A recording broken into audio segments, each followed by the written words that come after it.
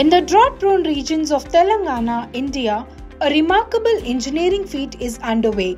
The Palamuru Rangareddy project is bringing hope to millions by diverting river water to remote areas of Rangareddy, Nalgonda, Mahabubnagar, addressing their dire need for drinking water. This ambitious scheme is set to change lives and create history. Every year, a staggering 800 TMC of water is wasted as it flows into the sea. However, with the advancement of engineering expertise, it is now possible to move water from one basin to another, ensuring its efficient utilization. The heart of this project lies in the innovative use of lifting platforms enabling the diversion of river water against its natural flow.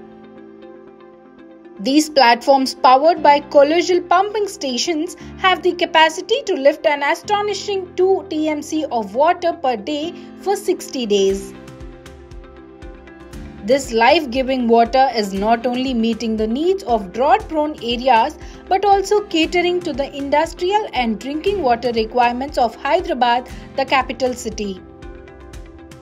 This extraordinary project comprises 5 lift schemes and 6 reservoirs, making it the largest of its kind in the world. Each pumping station is a testament to engineering prowess with an awe-inspiring total capacity of 4720 megawatts surpassing all previous records. The first lift located in Yellore village boasts 8 pumping machines with a world record breaking capacity of 145 megawatts each.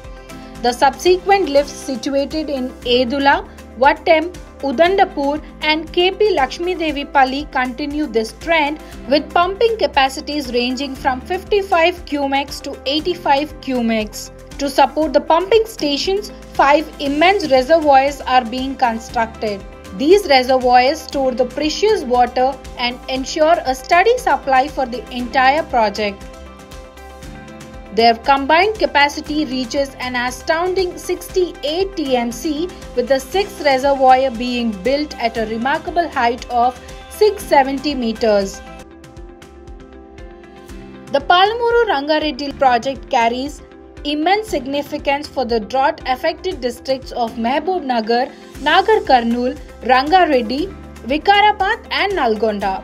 In these regions, where average rainfall is low and drinking water sources are scarce, over 50 lakh people in 1428 villages lack access to safe drinking water. To meet the pressing needs of these communities, the project requires an annual supply of 4,366 million units of electricity, necessitating the establishment of dedicated electricity substations. As the Palamuru Rangareddy project nears completion, the vision of providing clean drinking water to millions is becoming a reality. Through groundbreaking engineering and an unwavering commitment to human welfare, this project is a shining example of what can be achieved when innovation meets compassion. The Palamuru Rangareddy project is not just a testament to engineering excellence but also a testament to the power of determination and compassion. It is a lifeline for those in need, a symbol of hope for a better future.